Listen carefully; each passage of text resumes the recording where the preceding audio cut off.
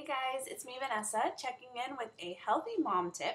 Today I want to talk to you guys about snacks and kids. I don't know about you, but my kids are always hungry. They tell me all the time, Mommy, I'm hungry all day. And, um, you know, they're growing kids. But I found that the type of snacks that I feed them and the type of foods that I give them can either make them more hungry throughout the day, or if I'm intentional and I'm smart and I plan ahead, I can give them really nutritionally filling snacks that will actually keep them full for more than like 30 minutes or an hour. And keeping away from the sugary stuff definitely helps their attitudes and their demeanors throughout the day. so, I wanted to give you a few tips for keeping healthy snacks in your house and helping your kids eat healthy snacks. Tip number one is that it has to start with you. I didn't even attempt to change my kids' eating habits or even my husband's eating habits when I first started a year ago. All I did was focus on myself. But the crazy thing happened they're watching what you put on your plate, they're watching what you put in your mouth. When I was eating a grapefruit and I was like, oh my gosh, this is so good, they're like, I want to try it. And my kids now love grapefruits, which are kind of like a weird fruit. Most kids don't really like them, but they saw me eating it and they wanted to join in. They've even started eating salad and other things that I just never even thought to offer them. And just because they see me eating it, they're joining with me. So, whatever snacks that you decide to make for your kids, sit down with them. Take a few bites yourself. As they see you eating it, they're going to be more inclined to join in as well.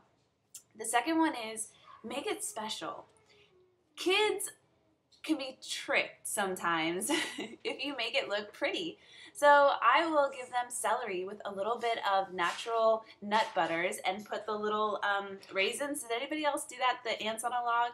And just the fact that it looks different and it looks cute and it looks funny they'll eat it. Or I'll take a banana and I'll slice it up and make it look like a smiley face and put a little dab of peanut butter for the nose.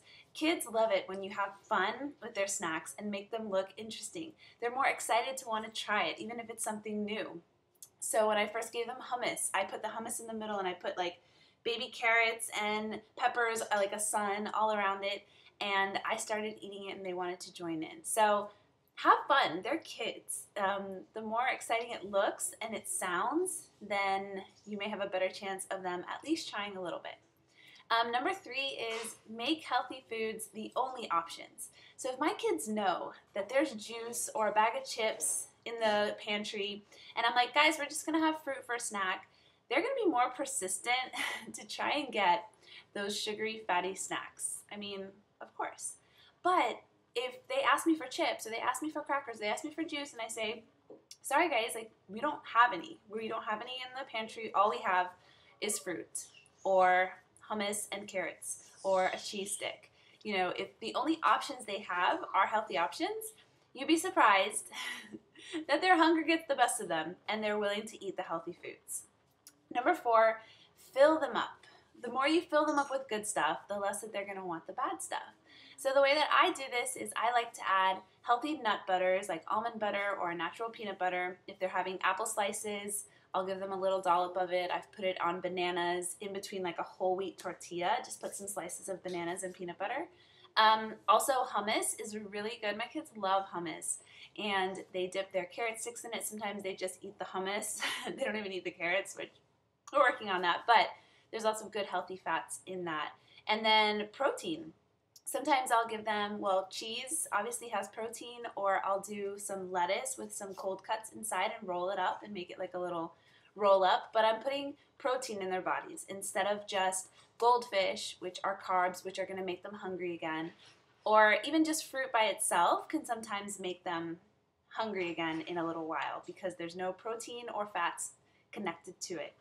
So uh, the fifth one is the three P's be patient, be persistent, and be positive. The kids are not going to like making big changes all at once. I know my kids are not like that. So I've just had to be patient and positive and persistent. Um, cutting out the junk food from my house so that it's not even here is helps a lot. But just being positive, even for desserts. They ask me, Mommy, what's for dessert? And sometimes I'll be like, Well, we have some bananas and we can sprinkle some cinnamon on top and that's what we're having for dessert. And they're like, awesome! so um, if you have only healthy options, it helps a lot. And kids do change. If you are persistent, maybe it won't be overnight and maybe it won't be after a week. But if you're persistent, you'd be surprised at how quickly they adapt to healthier snacks and healthier diet. I hope this has helped you. I'm going to be making a list at the end of this video of some of my favorite healthy snacks. And if you'd like to follow along with me, um, you can follow me on Instagram at 5 Ingredient Gourmet. And I'm always posting healthy recipes and snacks. And I would also love it if you would subscribe to my channel. I'm posting healthy mom tips, workout tips, lots of inspiration. Would love for you to follow along. Thanks for watching.